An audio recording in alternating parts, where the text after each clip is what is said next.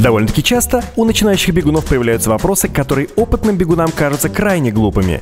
Мы собрали 15 наиболее популярных вопросов о подборе беговой обуви и попросили ответить на них специалиста по биомеханике, профессионального именитого тренера и, конечно же, специалиста по подбору беговой обуви.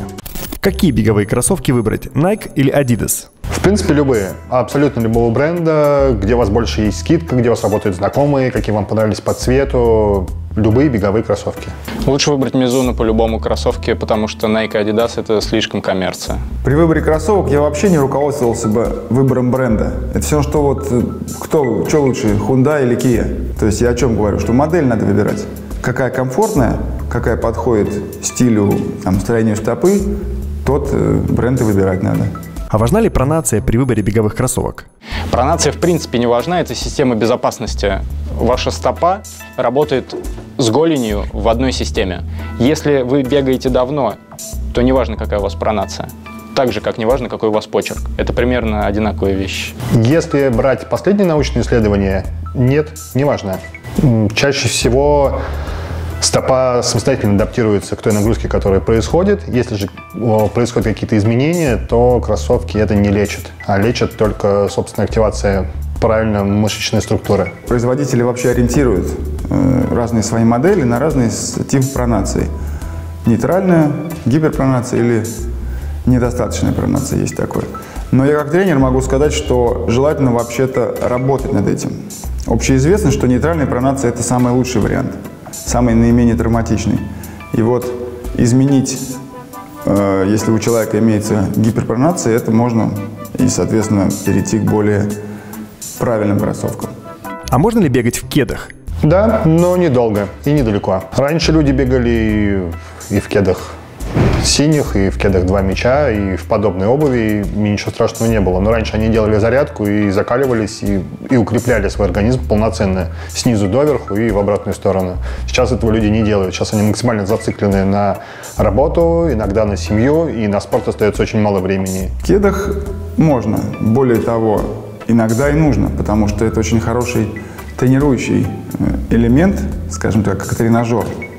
Если говорить о кедах, как о минималистической обуви, э, я, например, начинал только в кедах в 79 году, и мы о кроссовках узнали спустя года 3-4. Так что кеды – это хороший инструмент, но надо помнить, что все-таки стопы большинства людей не готовы к этому, поэтому применять их именно очень дозированно, а не как, основной, э, не как основная обувь. Но если все-таки желание есть, это дань традициям, дань моде, и ты правда решил бегать только в кедах, отлично, укрепляй стопу, укрепляй передние и задние мышцы голени, и супер, дорога открыта. Можно ли бегать в кроссовках для баскетбола? Бегать в кроссовках можно абсолютно в любых. Неважно, синие они или красные, которые самые быстрые. Все зависит от того, насколько они подходят вам бежать в том или ином месте в лесу или в городе. Неважно, какой бренд или какое направление спорта. Можно и в берцах бегать, но если уж вы собрались бегать и серьезно заниматься, то все-таки надо покупать беговую обувь. Чем толще подошва, тем лучше для коленей. Это так? В какой-то мере да. Если только новичок или есть какой-то избыточный вес, не совсем правильная техника, на первые пару недель, тройку, это поможет. Дальше нет. Чем толще подошва, тем больше вы получите вибрации под стопами, и будет эффект, как будто вы идете босиком по песчаному пляжу. Идти по песчаному пляжу тяжело. Стопа и мышцы голени будут еще больше стараться стабилизировать вас в ровном, максимально эффективном, экономичном положении. На самом деле излишне толстая подошва на неподготовленные слабые ноги это еще большее зло, чем бег в тонких кроссовках. Тонкие кроссовки, по крайней мере, отобьют вам ноги, и дальше вы уже не побежите. А толстые кроссовки замаскируют весь этот стресс, и эффект будет на следующий день, когда ноги придут в себя и пришлют вам письмо, что парень, ты приехал. Обратное утверждение. Я объясню почему. Дело в том, что толстая подошва, конечно, амортизация, знак равенства. Но Проблема в том, что человек, когда имеет большую амортизацию в беговой обуви, э, обкрадывает свои сенсорные ощущения. То есть его э, восприятие удара о поверхность снижено. И поэтому любой бегун, даже я, имеет тенденцию как раз ногу выставить вперед дальше и, соответственно, получить удар по пятке сильнее, который передается напрямую через берцовые кости колена. Так что я бы сказал, что это не всегда хорошо. А сколько в среднем живут беговые кроссовки? Кроссовки живут столько, сколько вы за ними ухаживаете, плюс-минус 700-800 километров, потому что эта дистанция примерно линия честности брендов. Износостойкость прямо пропорциональна весу и амортизации. Если кроссовки максимально износостойкие, значит у них более густая подошва по пене, и они жестче. Если кроссовки легкие, но при этом сильно амортизирующие, значит внутри больше разряженного пространства. Таким образом, кроссовок сомнется по пеноматериалу быстрее и закончит свою жизнь раньше. Сложно говорить какие-то прям официальные данные. Неофициально плюс-минус 500, 600, 700, 800 километров. То есть все зависит от э, того, под какие скорости они рассчитаны? Если это тренировочные кроссовки, чаще всего у них километраж гораздо выше. Если это стартовые, тонкоподошвенные модели, у них очень ограничен километраж. Легкие амортизирующие кроссовки или облегченные соревновательные кроссовки живут 350 450 километров. Кроссовки стандартно тренировочные, которые рассчитаны на регулярное использование, живут в среднем до момента интенсивной потери амортизации где-то 850 километров. У разных моделей разный ресурс. А, но, насколько я помню, вот когда я бегал э, и получал кроссовки бесплатно, то нам говорили там 800 километров примерно. Но опять же, это если я получал 12 пар в год бесплатно, я мог позволить себе бегать и меньше. А, на самом деле, э, опять же, зависит от того, насколько техника бега правильная, от массы бегуна. То есть более легкие бегуны имеют возможность и 2000 километров пробегать, и они не особый износ будут иметь. Так что э, много разных вариант, вариантов. Но опять же, вот от 800 до 2000 можно принять за такой диапазон. Существуют ли универсальные беговые кроссовки? Если мы говорим про универсальные между скоростями, в принципе, да, если мы не говорим про скорости быстрее 4 минут на километр. Если мы говорим про кроссовки шоссе и трейл, то под легкий трейл тоже можно найти вполне себе универсальную модель. Под какие-то агрессивные трейловые забеги шоссейные модели категорично не подойдут. Универсальные беговые кроссовки складываются из понимания того, что вы в них делаете. Тренировочный процесс состоит из силовой работы, работы на объем, и специальной работы на развитие скоростных качеств. В принципе, вы все задания можете делать в одной паре, если она плюс-минус не изобилует амортизацией или не слишком тонкая. Таким образом, в не слишком тонких кроссовках вы можете набегать большой объем, и не в слишком толстых кроссовках вы можете делать силовую работу, присед, выпады и так далее. Ну, это любой бегун сразу скажет, что, конечно, для разных поверхностей, для разных типов тренировок и соревнований есть разные кроссовки. Это как все равно, что универсальная резина или универсальная обувь для всех сезонов. Да, такой нету. Ну, можно ездить, конечно, в одной, в одни, на одних колесах круглый год и по, по бездорожью и по асфальтовому треку. Но на самом деле, сами понимаете, это далеко не лучшая идея. Сколько стоят самые дешевые, безопасные для бега кроссовки? В принципе, их можно урвать тысячи за 3, 3 500 в дисконте, даже в Москве, хотя в Москве очень высокий ценник на такие модели. Э, в каталогах сегодняшнего дня основных, самых популярных брендов, которые представлены на рынке России, самые дешевые беговые кроссовки стоят 2300 рублей. Я не вижу большой корреляции в качестве кроссовок в зависимости от их цены. То есть, если коснуться себестоимости производства кроссовок, то она э, колеблется от 5 до 15 долларов за пару.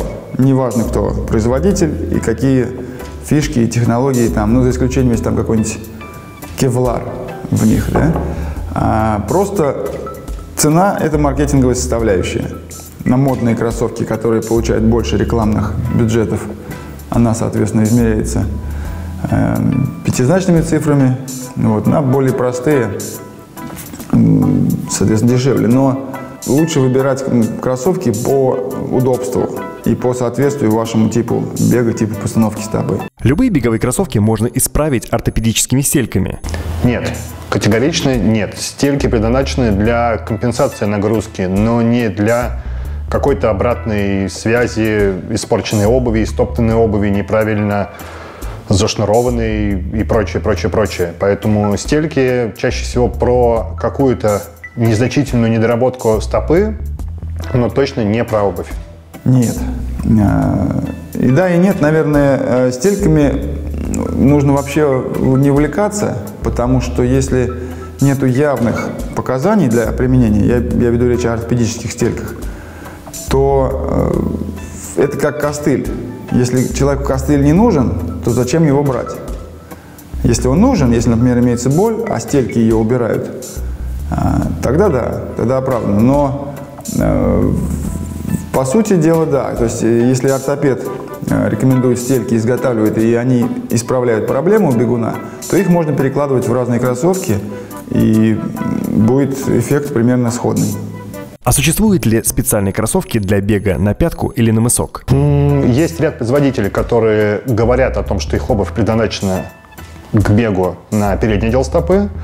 Но, в принципе, как показывает практика, если достаточно минимальный перепад относительно пятки и носка, он стремится где-то в рамках от 1 до 4 мм, то спортсмен может его одинаково использовать такой модель, как под бег на пятку и на передний отдел стопы. Понятное дело, что чем толще подошва, тем более безопасно приземляться на пятку.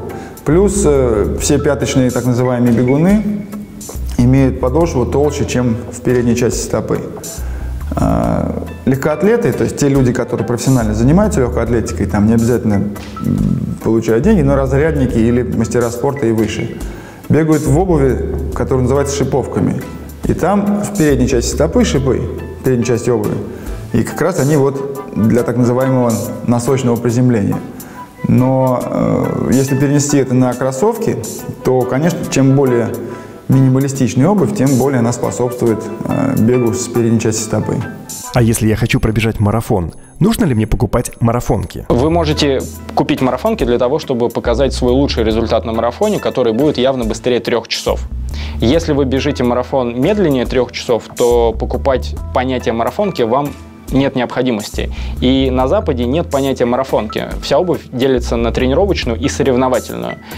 Это такой пережиток советского прошлого, который заявляет вам об вашей элитарности. Если у вас есть марафонки, и вы марафонец, значит вы супер кул. Если у вас нет марафонок, но вы марафонец, значит вы не супер кул. Можно ли использовать беговые кроссовки со шнурками-резинками? Если мы говорим э, про бег как таковая отдельная дисциплина, то нет, категорично нет. Если мы говорим про бег в рамках триатлона, то на дистанциях суперспринт, спринт, олимпийка можно рассматривать. Даже если вы достаточно в новичковом состоянии находитесь, то лишние сэкономленные секунды на перебывании в транзитке вам помогут. Но на длинных дистанциях, либо просто на беговых тренировках, э, резиновая шнуровка добавляет нестабильности по стопе. Она начинает крутиться в кроссовке, что сказывается на технике в том числе. А шнурки все-таки завязываются так, чтобы в средней части они были менее затянуты, а в верхней по бобо лучше фиксировали. И э, не знаю, насколько резинки этому способствуют, соответствуют. Я просто сам лично не использовал, но э, лично я бы не стал это делать. Да, это красиво, прикольно, но все-таки оставим прикольность для повседневной обуви, а все-таки для тренировки, наверное, лучше традиционный способ. Помогут ли мне кроссовки с карбоновой вставкой в подошве бежать быстрее? Ну, мы все в прошлом году убедились, что самые быстрые парни с темным цветом кожи, да, имеют вот эти все карбоновые кроссовки. Более того, были обновлены мировые рекорды э, во многих, на многих дистанциях длинных. Поэтому, скорее всего, да, э, карбоновая пластина улучшает скорость бега. Другое дело вопрос этический и юридический, насколько это применимо. Ну, давайте сделаем кроссовки с какими-то вот такими вот загогулинами, как э, бегают параолимпийцы, параатлеты, да, у которых нет конечности. То есть, если уж мы соревнуемся в беге, то давайте соревноваться в беге, а не в каких-то технологических примочках, которые должны быть присущи там, Формуле 1, например. Но бег – это естественное упражнение.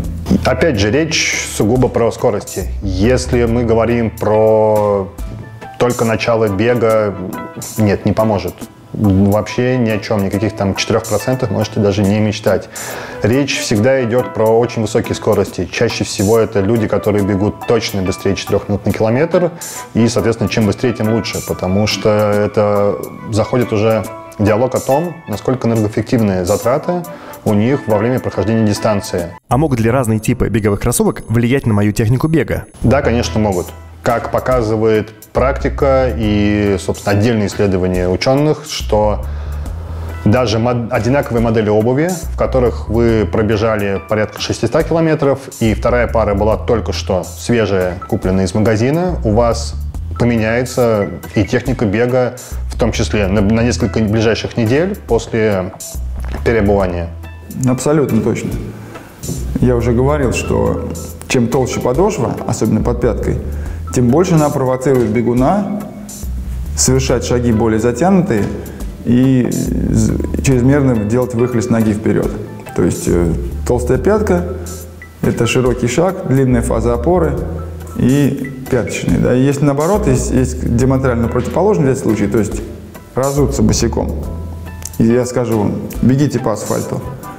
Через несколько шагов человек будет бежать покороче, делать шаги, побыстрее фазу опоры и приземляться все-таки поближе к носочку.